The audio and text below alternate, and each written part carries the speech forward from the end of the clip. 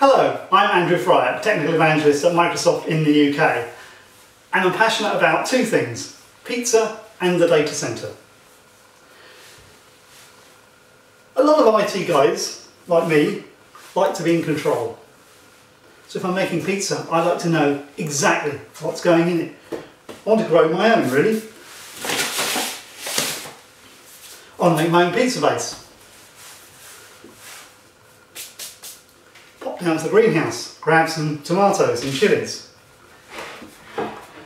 Carefully chop them up, being particularly careful to keep an eye on the dangerous little red guys that are going to be going in later. And I can actually knock up a basic pizza with this, but there's going to be something missing. And I feel that with modern data centres, there's something missing there as well. There's some extra secret sauce that we need. For example, if you're playing with big data, you might want to have a play. And the boss isn't just going to let you loose on a load of servers to see if something like Hadoop is going to work for you or whether you want to play with machine learning or something like that. And you might want to just evaluate a new piece of software, you might want to try some new techniques out, and you just can't easily do that. Much in the same way is, it's going to be difficult for me to make my own mozzarella, or Parmesan Reggiano, or chorizo. For that matter, there might be some mushrooms down my garden, but do I really want to trust my judgment when I'm picking those? Probably want to go to a supermarket and buy my own mushrooms because that could be quite nasty.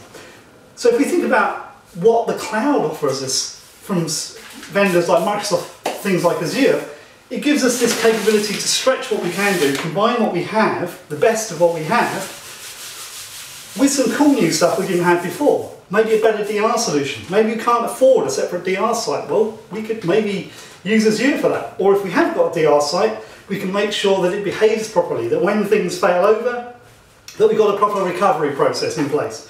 So we can spin things up using Azure to orchestrate that for us, which is really, really useful.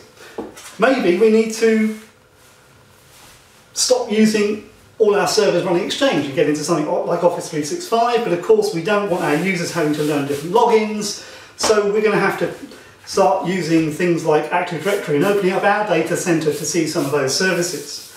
But if we do that, we have the best of both worlds we have an awesome pizza experience, we have an awesome data experience, and we can actually start to provide IT as a service to our customers. We've also got that agility as well. We can just get onto Azure, spin something up.